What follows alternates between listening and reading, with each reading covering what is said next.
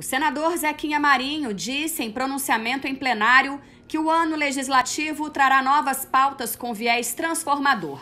Segundo o senador, serão matérias com objetivos claros de aprimorar a situação social e econômica do país para superar as consequências decorrentes da pandemia de Covid-19. O senador destacou ainda importantes projetos aprovados pelo Senado no ano passado.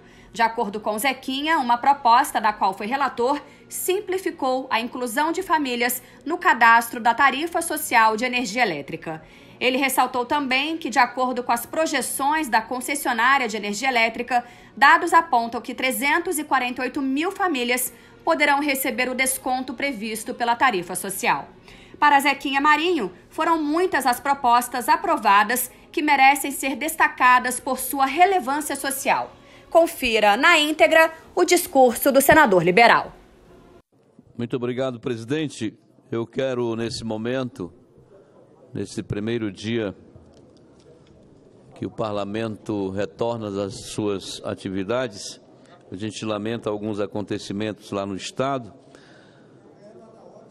A senhora Elizabeth Souza Leite, nossa amiga, irmã, mãe do vereador Rodrigão, do município de Água Azul do Norte. Ela passou para a eternidade na data de hoje e eu quero aqui nesse momento apresentar minhas condolências e sentimentos a toda a família do vereador Rodrigão pelo passamento da sua genitora.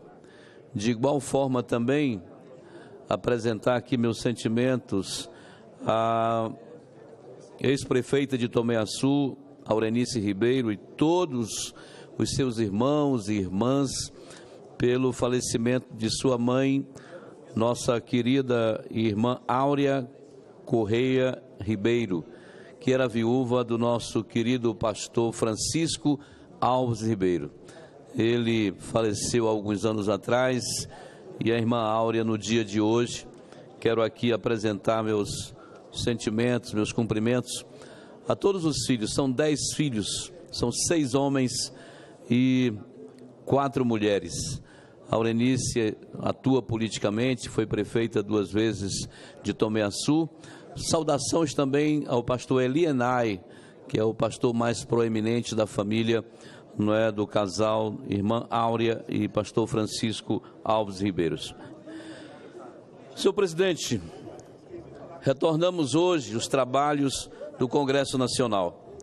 Nesse ano de 2022, certamente enfrentaremos pautas com viés transformador e que vem no sentido de melhorar o cenário social e econômico do nosso país, sobretudo no atual momento em que buscamos superar a pandemia e suas né, consequências. No ano que passou, aprovamos nesta casa o PL 1106-2020, que estabelece a criação, digo melhor, a inscrição automática na tarifa social de energia elétrica. Projeto que tive a honra de poder relatar aqui no Senado Federal, beneficiará 24 milhões de famílias brasileiras com descontos que vão de 10 a 65%. O projeto era de autoria do deputado André Ferreira, lá do estado de Pernambuco. Proposição foi transformada na lei número 14.203, de 10 de setembro de 2021. Somente no meu estado, presidente, as projeções da distribuidora de energia elétrica apontam que 348 mil famílias poderão receber o desconto previsto pela tarifa social.